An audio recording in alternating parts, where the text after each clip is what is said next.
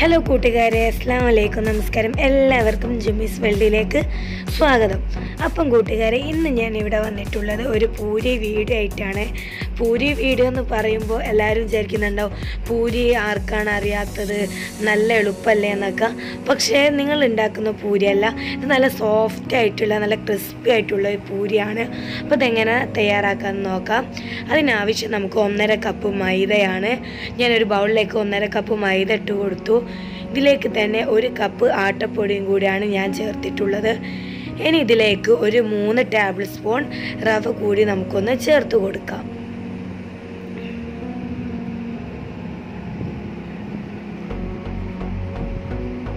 ഇനി ഇതിലേക്ക് ആവശ്യത്തിനുള്ള ഉപ്പുപൊടിയും കൂടി ചേർത്ത് കൊടുക്കാം.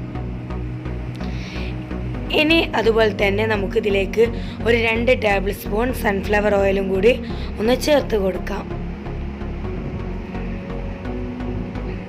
എന്നിട്ട് നമുക്കൊന്ന് മിക്സ് ചെയ്ത് കൊടുക്കാം.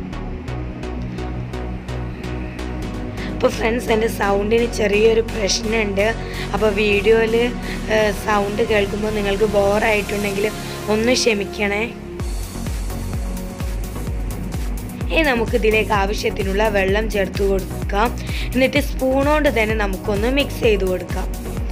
ഇങ്ങനെ സ്പൂൺ കൊണ്ട് മിക്സ് ചെയ്ത് കൊടുക്കുമ്പോൾ നമ്മുടെ കയ്യിൽ ഓവർ പറ്റി പിടിക്കുകയോ പറ്റി പിടിക്കുകയില്ല. പിന്നെ നമുക്ക് ലാസ്റ്റിലേക്ക് കൈ വെച്ച് നല്ലോണം ഒന്ന് കുഴച്ചെടുത്താൽ മതി.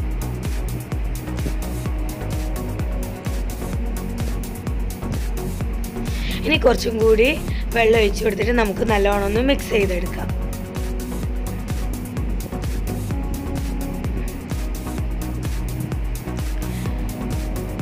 അപ്പം ഞാൻ നല്ലോണം മിക്സ് ചെയ്ത് കൊടുത്തിട്ടുണ്ട്. ഇനി നമുക്ക് കൈ ഉപയോഗിച്ചിട്ട് ഒന്ന് കുഴച്ചെടുക്കാം.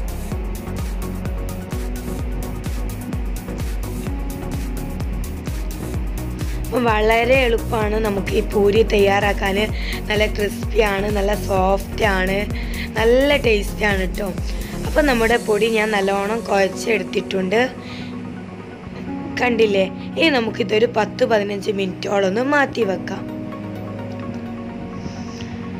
അപ്പോൾ റെസ്റ്റ് ചെയ്യാൻ വെച്ച നമ്മുടെ പൊടി ഇതാ നല്ല സോഫ്റ്റ് ആയിട്ട് വന്നിട്ടുണ്ട്.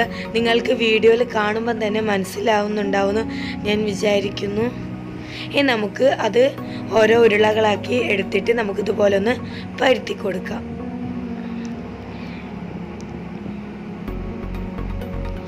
ഇനി ഇതുപോലെ നമുക്കെല്ലാം പരുത്തി കൊടുക്കാം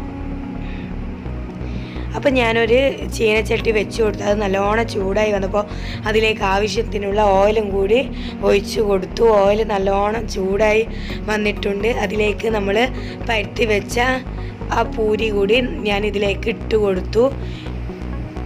അപ്പം നമ്മുടെ പൂരി കണ്ടില്ലേ? നല്ല അടിപൊളിയായിട്ട് നല്ലോണം പൊന്തി വന്നിട്ടുണ്ട്. അതുപോലെ നമുക്ക് ബാക്കിയുള്ളതൊക്കെ പൊരിച്ചെടുക്കാം. കണ്ടില്ലേ? നല്ല അടിപൊളിയായിട്ട് നമ്മുടെ പൂരി വന്നില്ലേ? അപ്പോൾ ഫ്രണ്ട്സ് നിങ്ങൾക്ക് എല്ലാവർക്കും ഈ വീഡിയോ ഇഷ്ടമായി എന്ന് ഞാൻ വിചാരിക്കുന്നു. അപ്പോൾ ഇതെല്ലാവരും ഒന്ന് ഇങ്ങനെ ട്രൈ ചെയ്ത് നോക്കണേ. അഥവാ നിങ്ങൾക്ക് എന്റെ വീഡിയോ ഇഷ്ടമായിട്ടുണ്ടെങ്കിൽ തീർച്ചയായിട്ടും ലൈക്ക് ചെയ്യാനും ഷെയർ ചെയ്യാനും സബ്സ്ക്രൈബ് ചെയ്യാനും മറക്കരുത്. പിന്നെ നിങ്ങളുടെ അഭിപ്രായം താഴെ കമന്റ് ബോക്സിൽ എഴുതി അറിയിക്കാനും മറക്കരുത്. അപ്പോൾ ഇൻഷാല്ല മറ്റൊരു വീഡിയോ ആയിട്ട് ഞാൻ പിന്നെ വരാം. അതുവരേക്കും ടാറ്റ ബൈ ബൈ.